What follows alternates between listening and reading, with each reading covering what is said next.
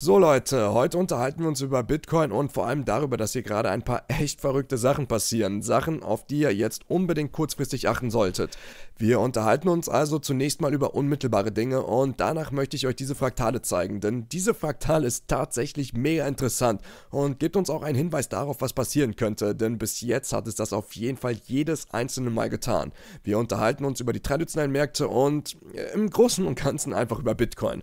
Und damit willkommen zurück, meine Freunde. Mein Name ist David und ich bringe euch jeden Tag Krypto-Videos und zeige euch, wie man hier Geld machen kann. Falls ihr neu auf dem Kanal seid, dann abonniert den Kanal und vor allem aktiviert auch die Glocke.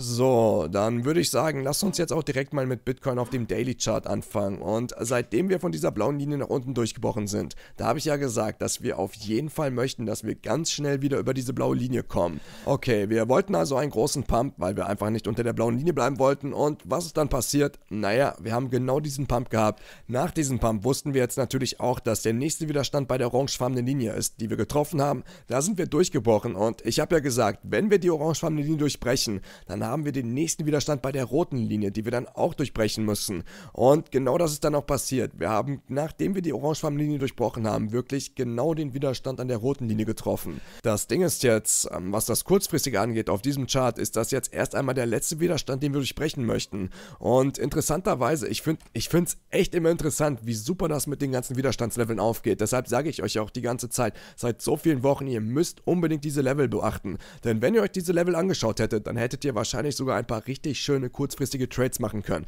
Denn, naja, der Bitcoin-Preis hat wirklich perfekt all diese Widerstandslevel respektiert.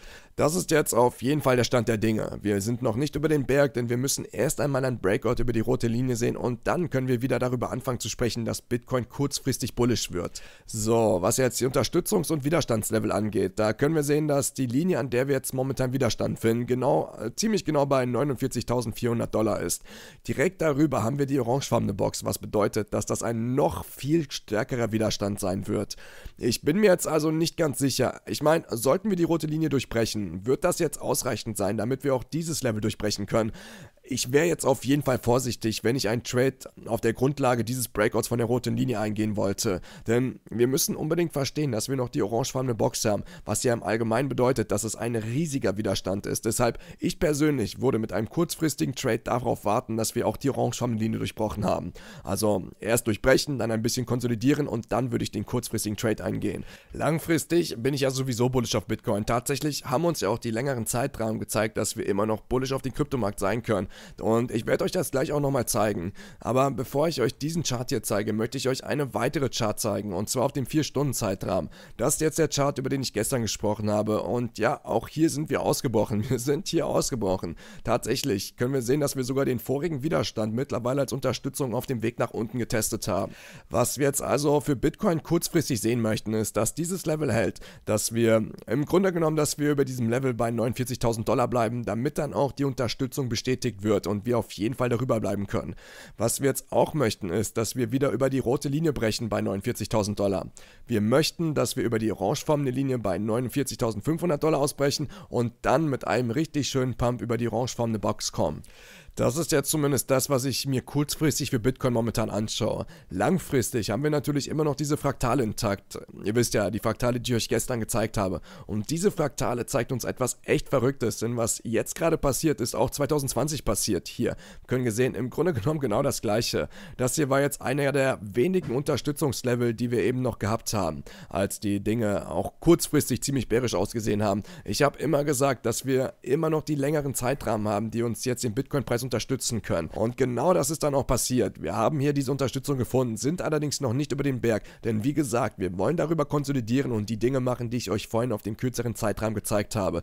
Trotzdem, solange diese rote Linie hält, bleibe ich auf jeden Fall immer noch bullish, was die Kryptomärkte angeht in diesem Moment. Was mich jetzt wiederum zu den traditionellen Märkten führt, weil die traditionellen Märkte auch gestern begonnen haben zu pumpen. Wir sind im Grunde genommen direkt bis zur orangenen Linie gepumpt. Hier sieht man jetzt definitiv die Bedeutung der orangenen Linie bei 4642 witzig, denn das ist genau der Punkt, an dem wir jetzt Widerstand gefunden haben. Also nochmal, es geht momentan auf und ab, einfach weil klar, der Markt ist in diesem Moment definitiv unsicher.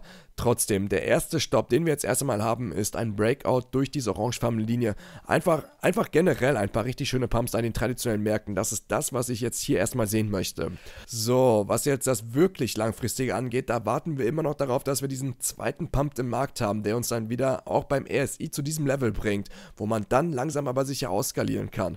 Das Ding ist jetzt tatsächlich, wo der Markt schon so eine ganze Weile gelaufen ist, also der Bullenmarkt, sobald wir die, sagen wir mal 80, 90.000 erreichen werden, da werde ich definitiv damit anfangen, richtig stark rauszuskalieren. Und das ist einfach eine Frage, die mir so viele Leute gestellt haben, wann ich damit anfangen werde. Und ja, das ist so ungefähr meine Richtung.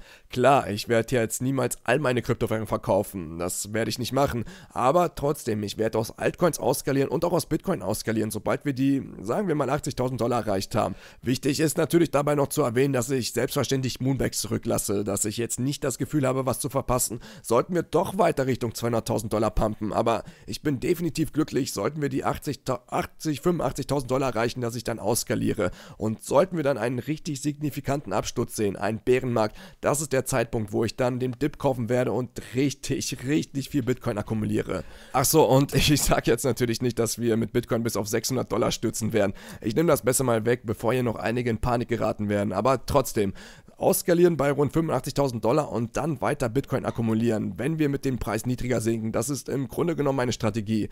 Und zu guter Letzt möchte ich euch noch diesen Chart zeigen, der von Parabolic Math gepostet wurde. Und das ist eine echt interessante Fraktale. Hier, wir können sehen, dass wir den Momentum-Indikator in der Mitte haben. Dann haben wir den RSI im unteren Drittel und wir haben den Bitcoin-Preis im oberen Drittel.